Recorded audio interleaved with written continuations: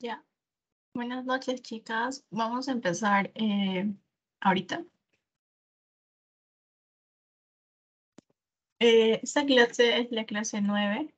Es una clase, vamos a hablar sobre nematodos. Ahora sí. Es, recuerden que primero hemos visto, primero quiero saber si es que se escucha y si es que se ve la diapo. ¿Se escucha? ¿Se ve? Sí. Ya, gracias. Ya, entonces, esta clase de nematodos, eh, ¿recuerdan que vimos primero cestos y luego hemos visto tremátodos? Ya, todos esos son gusanos planos.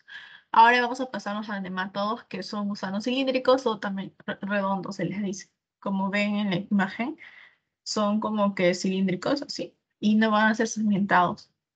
Ahora vamos a ver que estos nematodos son como ocho. Eh, no se asusten porque hay como que dos los juntamos, son estos dos, que son las uncinarias. Y ah, estos de acá son bien poquitos, poquitos son. Entonces no hay mucha información.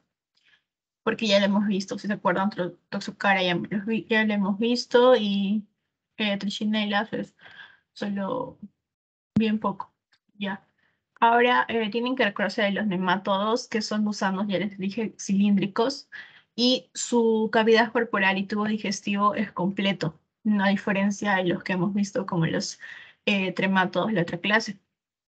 Estos no tienen segmentos, o sea, no, so- como son cilíndricos y son como que rectos tubulares, no tienen segmentos, no tienen esto, no son como los segmentados que hemos visto en los cestos no presentan sistema circulatorio, tampoco tiene sistema respiratorio y tiene un dimorfismo sexual. Eso quiere decir que la hembra, eh, generalmente la hembra es la que tiene mayor tamaño que el macho. O sea, la hembra tiene, es más, más grande que el macho. Eso es lo que se le conoce como dimorfismo sexual. Ujú. Luego eh, tienen que recordarse el ciclo biológico que va a tener tres estadios, o sea, todos estos ocho que estamos viendo ahorita van a tener solamente tres estadios, que es huevo, larva, adulto. Nada más, es más sencillo que los otros que hemos visto. Nos vamos a empezar con el ascaris lumbricoide. Ya, con las ascaris lumbricoides tienen que recordarse que es infectante, o sea, que larva es el que debe infectar, porque ahorita vamos a ver como cuatro más y son diferentes tipos de larva, o sea, diferentes tipos de L2, eh, puede ser L2, L3, L4, entonces tienen que recordarse qué tipo de larva es, y en este caso, Ascaris lumbricoides es la larva L2. Esa es la larva. Ese es el estadio infectante de esta larva. Y su estadio diagnóstico, bueno, son, son los huevos, los huevos adultos, o también los adultos. Eh, la parte de vía infección tienen que recordarse que es vía oral, o sea, por la boca. Y cómo es que te contagias el mecanismo es por la geofagia, o sea, comer tierra contaminada o también verduras que estuvieron contaminadas con las heces. ¿Y dónde les gusta estar estas lumbricoides?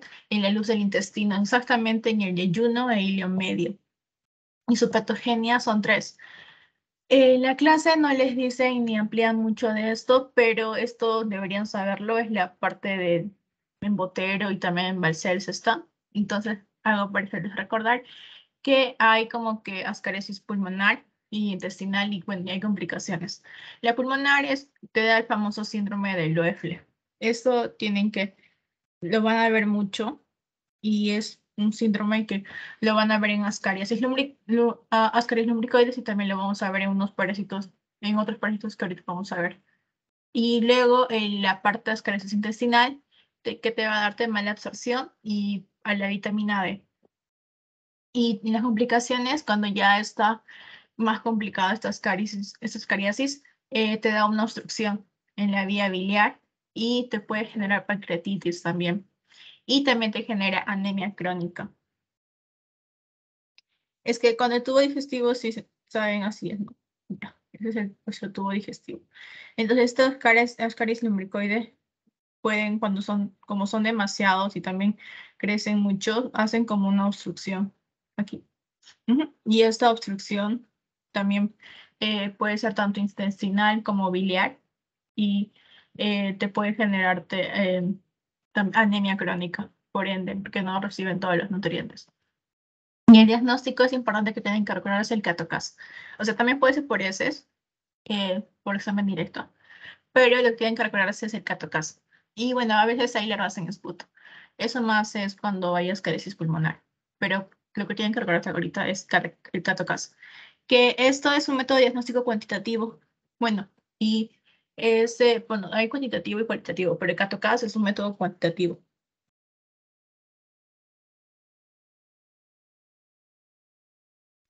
Eso tienen que saber. Es como que hace un recuento de la cantidad de huevos por gramo de materia fecal. Y si hay como que más de 20.000 huevos por gramo de heces, es como es igual a decir que hay una montón, una decena de gusanos en el intestino. Y, y esto va a llevar justamente a lo que expliqué, a la obstrucción intestinal. Y lo que tienen acá en la imagen, si se dan cuenta, este es el, la, la hembra y este es el macho. Ya, eh, si se dan cuenta, la hembra es más grande, más tiene más tamaño que el macho, por lo que les expliqué que tiene dimorfismo sexual. Y tienen que saber que este Ascaris lumbricoides es el nematodo más grande que parasita el intestino del ser humano. Este es el más grande, recuerden. Ya, y bueno, los machos su medida exactamente es que miden 25 eh, centímetros aproximadamente y tiene forma curva, su forma acá. Su forma posterior por acá va a ser curva. Es el anterior. La forma posterior va a ser curva, como una curvita. Ya. Y la hembra, que es más grande, que debe medir 35 centímetros aproximadamente, esta, eh, su forma anterior es recta. ¿Se dan cuenta acá? Recta no tiene ni una curva. Eh, por eso es que lo pueden diferenciar y también por el tamaño. Y luego cuando esta hembra está fecundada, eh, pone tres tipos de huevos, como vemos acá. Estos son los huevos. hay como que huevo fértil, huevo infértil y huevo decorticado. El huevo fértil es el que va a tener dos cubiertas. Eh, va a tener una externa, que es una cubierta mamelonada, y también va a tener una interna, que son lisos. Bueno, tiene tres cubiertas, en verdad. Es una interna, una externa, diré. Mamelonado es como decir así como lo que tiene como, parece como nube, una nube parece. Ya, así, eso es mamelonado. Esto así. Ya, esto así como, parece como una nube. Bueno, así lo dicen. Y tiene dos internas que ya son lisas. Si se dan cuenta, acá hay dos que son lisas. Y a la parte de los huevos infértiles solamente va a tener una membrana y va a ser un poco más alargado. ¿Ven? Tiene una membrana que es esta y son más grandes, más como que larguitos. Y el decorticado, ese no tiene mamelanado. No tiene, es liso. Entonces lo pueden ustedes diferenciar en la práctica de fértil y infértil y decorticado, que porque la fértil tiene ellas, ven, tienen varias capas y son mamelonadas como nube, les dije. Y la parte infértil eh, tiene solamente una capa y también es como nube, pero tiene una capa mamelonada, pero es más largo y también solamente es una capa. Si se dan cuenta, se nota. En cambio, el otro tiene varias capas, se nota. Se da cuenta, se, se ve en el microscopio. Y el decorticado ya lo van a ver como que súper liso. Como acá, tal cual es esto. Ah, y aquí, si se observan, hay como que parecen tres dientes. en la parte anterior van a tener como que eh, dientes que van a estar como el extremo, el extremo anterior. Y bueno, son como que sus órganos es trilabial, tiene como tres boquitas, tres dientes. Y cuando son adultos son de color rosado, en los lumbricoides, o también algunos son blancos, color amarillento, como observan acá en la imagen, o rosados y blanquecinos. Y eh, no tienen órganos de fijación, solo tienen estos tres dientes, parecen como estrilabial, trilabial, trilabial. Ese de acá. Ya. Ahora vamos a ver la parte del ciclo de vida. Ya tienen que recordarse que este Ascaris lumbricoides es monoxénico, o sea, solo tiene un hospedero. Nosotros. El estadio infectante, ¿cuál era? La larva L2. Recuerden, esa larva, esto, el, el larva L2 es muy importante que se recuerden. Luego, ¿cómo comienza este, todo este ciclo de vida? Primero, eh, nosotros nos contagiamos con el larva L2, lo comemos. O sea, los huevos lo comemos. El huevo con larva, la, la- la- perdón, huevo con larva L2 lo consumimos. Y en la mucosa duodenal, esta larva va a liberarse y se va a desarrollarse el famoso ciclo de los, eh, cuando ya está aquí. Cuando pasa por acá, llega acá, acá. Cuando va a estar acá, estómago aquí. Cuando llega a la parte de la parte duodenal, se entra el ciclo de los y este ciclo de los luego va eh, la L2 atraviesa la mucosa intestinal y va a llegar a la vía porta y va a llegar al hígado. Luego por la vena cava inferior va a subir al corazón. Luego la- del corazón por la arteria pulmonar va a alcanzar al pulmón. Luego eh, los capilares pulmonares van a mudarse a L3 y, de L- y los, en los alvéolos se van a mudarse a L4 y de nuevo va a llegar a la faringe. Y estos pueden ser eliminados o también deglutidos, volviendo de nuevo al duodeno para que se convierta en adultos en los intestinos. Entonces, eh, para que de nuevo eh, entiendan, es como que la larva, consumimos la larva L2, luego en la mucosa intestinal, el duodenal, cuando llega acá al duodeno, se va a convertirse en el ciclo de los va, a pasar y ese ciclo de los va a como que penetrar la mucosa duodenal y la circulación va a llegar primero a la, eh, por la vía porta va a llegar al hígado. Entonces, bueno, aquí está por acá es el hígado. Primero llega al hígado por la vía porta, la vía porta, por ahí. Ustedes están llevando anatomía, ya de, conocer la vía porta y todo eso. Llega al hígado y por la vena cava ah, inferior va a llegar al corazón, que va hasta acá y por ahí llega al corazón. Y luego, por el corazón, por la arteria pulmonar, va a llegar al pulmón. Nunca hay una arteria, por ese va a llegar al pulmón. Y en la parte, y ahí se va a mudarse al larva L3. O sea, el pulmón va a tener larva L3.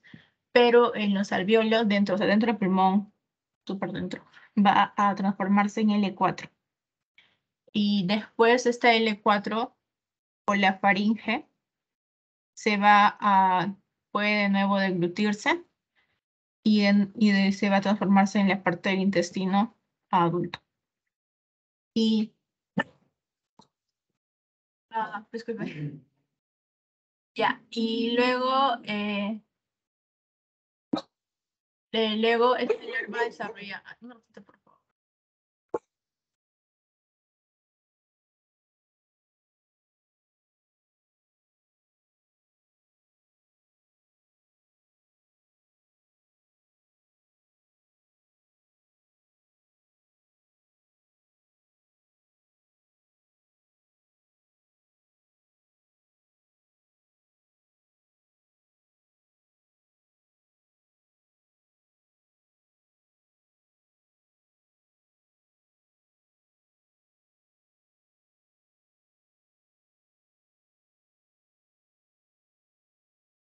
Sí, chicos, eh, disculpen, es mi perrito que siempre hace bulla.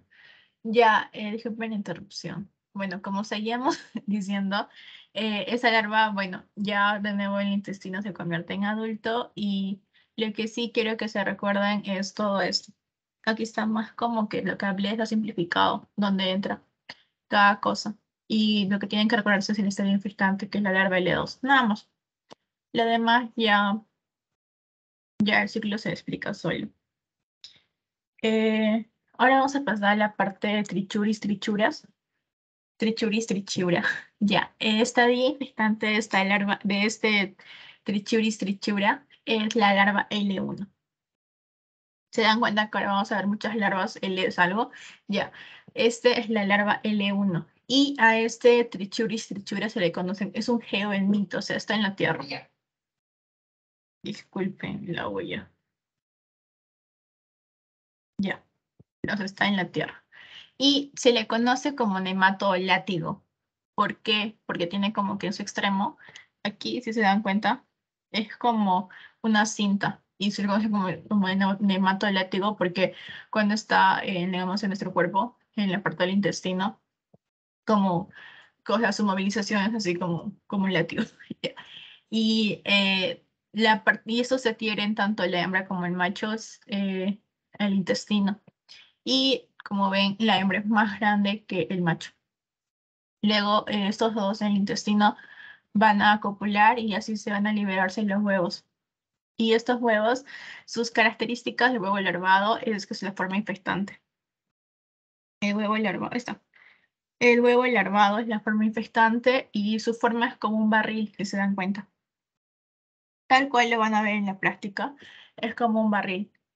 Y sus extremos van a tener tampones polares. Esos tampones polares son estas cositas que parecen como tamponcitos, ya, eso van a tener. Y cuando van a caer al suelo, necesitan estar en el suelo para que puedan formarse la, la fase infectante.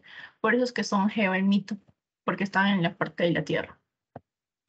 Y cada hembra produce alrededor de 3.000 a 4.000 huevos, no diré, 3.000 a 20.000 huevos al día.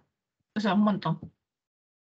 Y es eh, un, es un eh, nematodo que tiene eh, bien marcado el dimorfismo, porque si se dan cuenta, este macho mide solamente de 2 a 3 centímetros. En cambio, la hembra mide de 3 a 5, mucho más grande. Ah, y aquí también, como ven, la hembra es extremo posterior, es recto y romo. En cambio, el macho eh, tiene una espícula copulatoria. Aquí. Esta cosita de acá, que es así. ya, esa es su espícula copulatoria. Y en cambio, la hembra, si se dan cuenta, no tiene nada. Es recta y roma. Ahí también lo pueden diferenciar. Y el estadio diagnóstico ya vimos que es el huevo. Su vía de infección va a ser oral su mecanismo de infección es que nosotros nos contagiamos ingiriendo la, huevo con larva L1, ya sea por alimentos o agua contaminada con, eh, con tierra. Y donde les gusta estar, les encanta estar intestino grueso, exactamente en el ciego y en el colon. Y tiene una lesión. Eh, bueno, la patogenia es que produce una lesión mecánica y te da como que varios tipos de infecciones. La leve, que es cuando es asintomática, no sentimos nada. La intermedia ya es como que el dolor es tipo cólico. Y hay una diarrea, pero ocasional. Y la parte de intensa, ahí ya vemos el dolor tipo cólico, pero hay demasiada diarrea y ahora hay sangre, pujo y tenesmo. Entonces, por eso es que los puede como que reconocer. Mm, de aparte de diagnóstico, tienen que recordarse con son huevos en, o adultos en S, en ese mire. Y también la persona va a tener anemia y una sinofilia elevada. O sea, mucho sinófilo. O ya sea porque también tiene parásito, ¿no? Entonces tiene anemia y eosinofilia elevada. Y eso también es importante saber como que la patogenia, o sea, la clínica es trichura y trichura, porque tenemos que diferenciarlo de otros que ya hemos visto, que son la disentería mediana y la valantidosis. Que estos dos ya lo hemos visto antes, ¿se acuerdan? Ya, estos dos tenemos que diferenciarlo de la trichuris trichura. Eh, nada más. Ahora vamos a ver el ciclo biológico. Ya, el ciclo de vida es, es un ciclo monoxénico. Solamente unos nosotros. Ya, una vez que este trichuris trichura va a caer en la tierra húmeda, va a desarrollar un embrión y este va a ser infectivo cuando cae la tierra. Cuando está, pero cuando tiene que caer en la tierra. Aquí. Aquí estamos. Luego esto eh, no ataca los pulmones y se va a dirigirse a la parte del intestino delgado. Va a llegar a la parte, luego, va a llegar a la parte del intestino grueso y también puede haber en la parte del aparato digestivo para que se desarrolle necesita que sea una larva. Y uh, cuando son ingeridas a nivel del duodeno, hay como que unas enzimas que hacen que este huevo o eclosione, o sea, se rompa.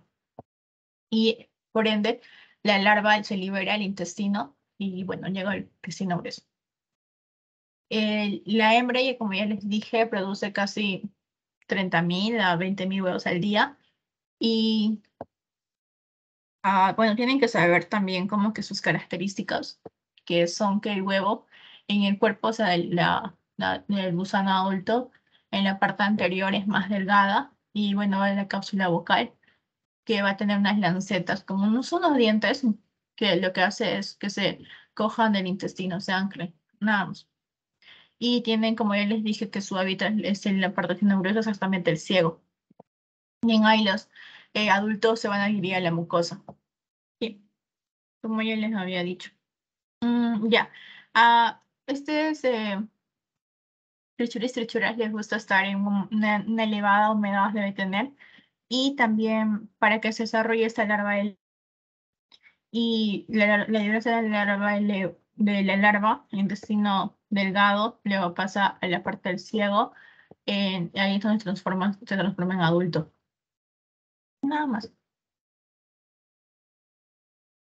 Ahora vamos a pasar a estos dos, que son el Ancylostoma duodenalis y el Necator americanus. Yo lo puse así porque tienen que saber su diferencia. O sea, los dos son usinarias, así de simple.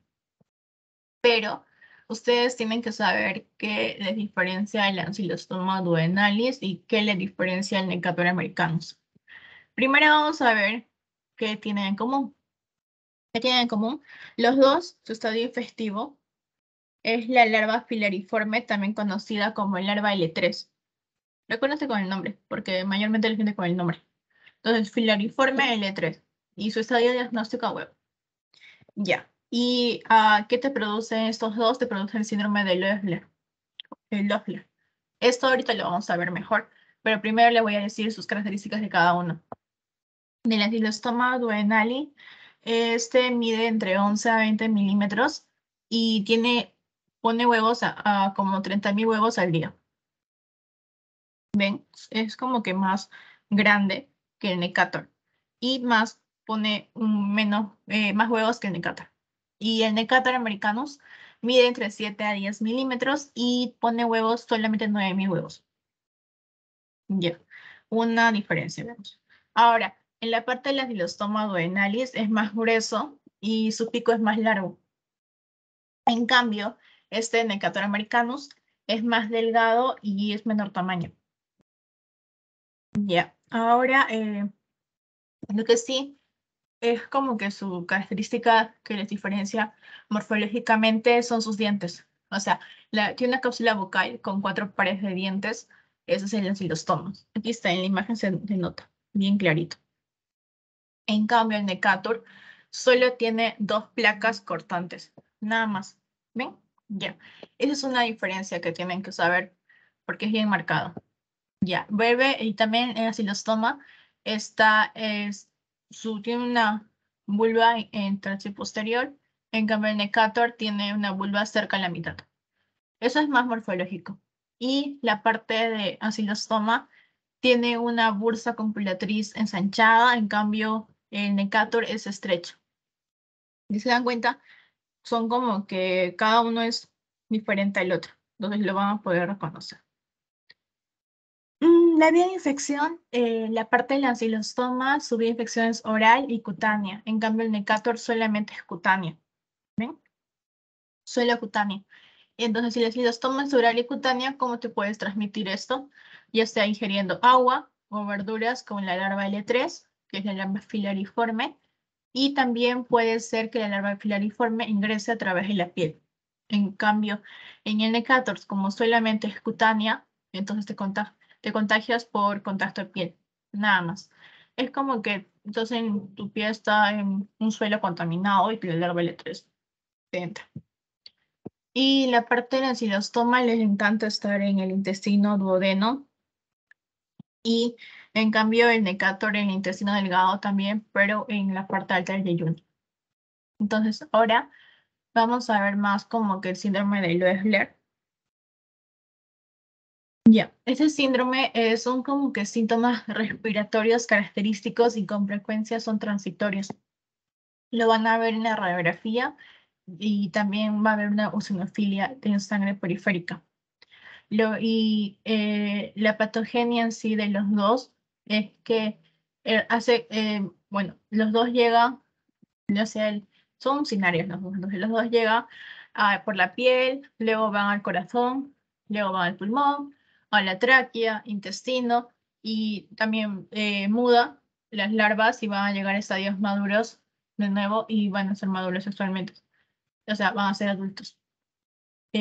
todo ese recorrido hace y también lo que te produce en tu cuerpo va a ser un daño, tanto en la mucosa intestinal, va a haber pérdida de peso y sangre, también va a haber heces diarreicas con moco y anemia, porque hay pérdida de sangre y deficiencia de hierro. Porque hay todo esto, por ende haber hipoproteinemia, hipocalcemia, hiperglicemia y eosinofilia. Eosinofilia mayormente en todos estos parásitos, porque ya saben que las eosinófilos sirven para ver justamente parásitos, aumentan por cuando hay parásitos. ¿Y cómo es que nosotros vamos a medir qué tan grave está esta infección? Es por el número de huevos que vamos a encontrar por gramo de heces.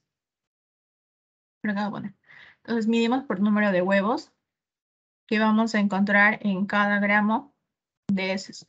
Así es como sabemos si está, qué tan fuerte está esta infección. ¿Alguna pregunta de estos dos Necatorsi? Eh, así los tomas.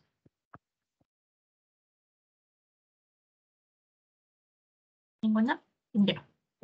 Ahora pasamos a Strongyloides estercoralis. En la parte de Strongyloides estercoralis tienen que saber que tiene un estadio infectante que está el larva L3, la larva L3. Ya.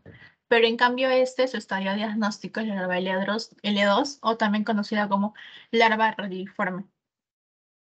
Eso sí tienen que recordarse, porque es el único que tiene diferente su estadio diagnóstico. En la parte de la vía infección, recuerden que es cutáneo, se entra por la piel. Donde les encanta estar, intestino, intestino delgado exactamente en duodeno y yeyuno. Y en la patogenia hay como que tipos, eh, cuando se invade en la piel, te va a dar toda dermatitis pruriginosa, que se le, que se le conoce como larva occurrence. Ya, este larva occurrence es el síndrome de migración de la larva que se le llama larva occurrence. Ya, eh, no hay una imagen acá, pero larva occurrence es como que, imagínense, ya, esto es una mano, ya.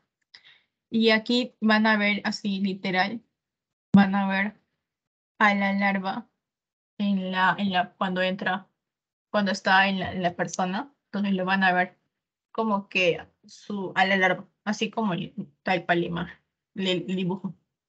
Y ese síndrome, cuando la larva entra a la migración de la larva, porque tienen que moverse la larva, se le llama larva currens.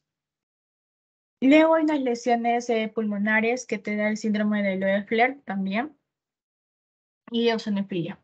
Y la parte de localización intestinal te da una hiperinfección y en la parte de invasión a otras vísceras te da un ciclo de autoinfección. Este Strongyloides es uno de los que tiene autoinfección. Entonces tienen que recordarse eso. ¿Y cómo lo diagnosticamos? Bueno, lo vemos en larva en materia fecal, en líquido duodenal o esputo, también tejidos, ya sea con examen coproparasitológico y el famoso método de Berman, que está en su diapo, entonces tienen que recordarlo. Ya. Su ciclo biológico que está. Ya, su ciclo biológico es homogéneo. Hay como que dos, homogenómico y heterogenómico. Eh, o también llamado homogenómico directo, también se le dice, o heterogenómico o indirecto. Ya, el homogenómico, eh, homogónico diré, perdón. El homogónico es los huevos que tienen como, los huevos tienen Ah, bueno, los huevos que ejemplares tienen adultos, mayormente las hembras, lo que van a hacer es liberar estos huevos en el, en, caen al suelo y se mudan de L2 a L3 y así va a comenzarse a desarrollarse. Y esta larva filariforme L3 atraviesa la piel, mientras que la larva radiforme, la L2, eh, va a ser ese diagnóstico y la filariforme eh, solamente lo que hace es penetrar la piel. Por eso esto está estadio infectante. podemos decir como que una persona está descalza caminando por la selva o por lugares que están contaminados o tienen alto riesgo y puede llegar esta larva L, 3 puede llegar por mediante el puede llegar al pulmón y mediante la circulación venosa puede llegar a parte del ventrículo derecho y así y también puede llegar al intestino delgado donde los adultos es que se van a multiplicar y van a formar huevos. Y hay también el ciclo heterogónico, que esto ya incluye una, una generación de vida libre. Eso quiere decir que necesitan tierra para que se puedan transformar. La larva L2, la radiforme, salen por las heces, se transforman en gusanos no parasitarios en la tierra y por la tierra se madura y los machos y las hembras eh, van a seguir produciendo más huevos y así se sigue formando larvas L2. Y hay un ciclo de autoinfección que es como la larva, eh, hay un desarrollo rápido de larva L3 en el intestino. Estos van a penetrar la mucosa intestinal o también la piel perianal y el ciclo se va a desarrollarse, pero dentro del huésped no va a necesitar salir. Y ahí por ende es un ciclo de autoinfección y es uno de los pocos ejemplos de multiplicación de mitos dentro del mismo hospedero.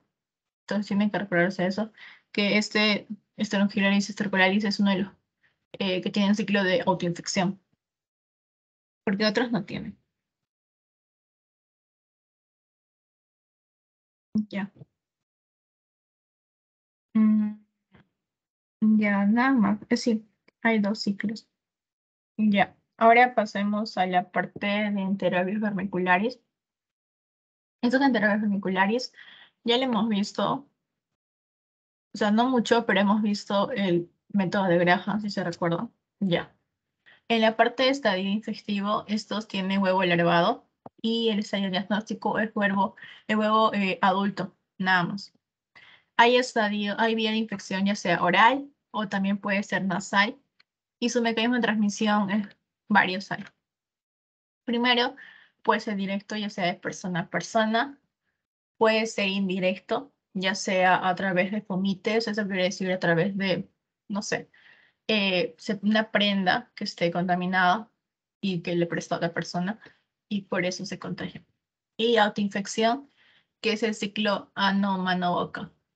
Y luego tienen que recordarse que tienen una parasitosis de grupo, o sea, altamente infectivo este, enteroides vermiculares, donde les encanta estar en la parte intestino grueso, en el ciego, y la clínica es que va a tener alteraciones gastrointestinales, inapetencia, entonces no va a querer comer nada, y por ende va a haber una baja de peso. Y el diagnóstico es por método de Graham. Que ustedes ya saben que se le pega eh, por una cintita al niño en la parte perianal, y bueno, la cintita se le lleva al microscopio y van a ver estos famosos huevitos. Eso ya saben ustedes. Entonces recuerden que la eh, hembra va a ser más grande que el macho, por ende hay un dimorfismo sexual. En la parte de los huevos, tienen que saber que hay una cara plana y otra cara convexa. Y estos huevos son translúcidos, como ven. Y como ya vieron ya también en el laboratorio y es de carácter diagnóstico y no se colorean, son como que transparentes, ya lo vieron. Entonces recuerden que son de carácter diagnóstico. En la parte del corte transversal, como observamos acá, eh, van a ver como que espinas laterales, van a ver musculatura y pueden generar problemas a nivel del apéndice de la persona. Y en el adulto, aquí van a ver como que van a unas aletas cefálicas, que son estas cosas acá. Que son como unas cositas que salen de su cabeza, ya son aletas cefálicas. Y luego van a ver un bulbo esofágico, que está acá. Y también es de carácter diagnóstico. Van a ver, esas son sus características morfológicas. Más le va a servir para la parte del laboratorio. Y el gusano, cuando el gusano hembra, cuando migra eh, por, las, por la parte perianal, va a producir como que una, una picazón intensa en la región perianal es porque la hembra se está moviendo y eh, por ende está depositando sus huevos. Por eso es que hay esa aplicación. También les a llegar como que diciendo que su madre diciendo que su hijito se, se está rascando la región perianal y también ustedes pueden por eso diagnosticarlo. Es una característica que tiene. Y este es su ciclo biológico y tienen que recordar que es el único hospedero somos nosotros. No, es bien fácil su ciclo. Eh, los huevos están en la parte de la perianal y estas larvas dentro de, cinco, de 4 a 6 horas van a madurar y se van a, eh, nosotros lo podemos ingerir ya sea por todos estos mecanismos y de nuevo van a estar en la parte del intestino grueso y ahora van a eclosionar, primero eclosionan en el intestino delgado y luego ya cuando son adultos van al ciego, o sea, al intestino grueso. Y porque tienen que, por acá, tienen que depositar sus huevos, las hembras. Ah, y las hembras son mucho más delgadas. Bueno, son mucho más gruesas, diré, que los machos. Porque mide un centímetro, en cambio los machos mide la mitad, 0,5 centímetros. Nada más. Es muy fácil su ciclo entre los auriculares. Ahora este Toxocara canis o Toxocara felix, que ya, ya lo hemos visto, y ahora a las espirales. Estos son diapos de su, de su clase. Eh, porque la profesora eh, está bien dividido su diapo, le puse, el toque. Entonces, toxocara, tienen que recordarse que hay huevo. Es, primero hay una larva migrans visceral, que es la forma de presentación del toxocara en humanos, en nosotros. Es la larva migrans visceral. Ustedes se recordarán que les, siempre les decía que la, la toxocara en nosotros solamente es hasta el larva. En cambio, en perro o gato recién puede desarrollarse adultos. No, no, en, nosotros nunca van a, a, ser adultos. Su forma infectante es de huevo larvado. Ya saben, su vía de infección es oral, la boca. Eh, la parte de... Hay como que tipos. Visceral puede estar como que sistémicas en diferentes órganos y ocular también se ve el larva migrans en la parte ocular, o sea, en el ojo se le ve y se observa casi. Ahí está la larva. Y a veces puede ser neurológica hasta y son asintomáticos. Y lo que sí van a ver bien marcado es la eosinofilia. Va a haber mucho eosinofilia. Y bueno, sus características ya la hemos visto. En el adulto, eh, la hembra es mucho más grande que el macho. Eh, la son de color blanquecino cremoso y les en el intestino delgado, intestino, el intestino de los animales, ya sea perro gato. Y la parte del macho es como que tiene una, lisa, como una espiral en, su, en la parte final. En cambio, la hembra no tiene nada, es correcto. ¿Ven? No tiene nada. Y la parte de las espirales, que esto se halla en la, en la carne del cerdo, que al ser consumida casi cruda, nosotros nos contagiamos. Su infección es oral, nos contagiamos por la, y las formas infectantes larva L1 en la célula nodriza, aquí, en el músculo, y estas larvas van a, a van a como que migrar al intestino y ahí van a crecer hasta que sean adultos. Y estas larvas van a poner huevos directamente eh, sus larvas diré, ponen, los hembras ponen sus larvas directamente en los vasos sanguíneos y por los vasos sanguíneos van a llegar a los músculos y los músculos se van a enquistar. Y como ven en la imagen, aquí, se enquistan. Eh, y así es como lo van a ustedes como que ver, diagnosticarlo. Eh, van a ver como que en, en su laboratorio como que en un, músculo, en un músculo está enquistado. Y a veces estas larvas ocasionan triquina. Y eh, la parte diagnóstica simplemente es eh, la larva enquistada en la musculatura. Nada más. Lesiones espirales es bien poquito, no hay nada casi. Y Toxocara canis feliz mm, no tocaron nada, solo tocaron la parte morfológica. Nada más. ¿Alguna pregunta? de estos todos. Lo que sí quiero que se recuerden son los primeros que hemos visto. Enterobius, esto, Estrogilae, quiero que se recuerden. Ah, esto es importante saber las diferencias de cada uno. Trichuris, trichuras también, porque siempre preguntan. La parte de Ascaris lumbricoides sí o sí tienen que saber porque les gusta preguntar eso. Entonces, eso sí, esas cosas tienen que saber, más que los últimos, que no preguntan mucho, pero es bueno que sepan. Entonces, ¿alguna pregunta? Vamos a detener la grabación.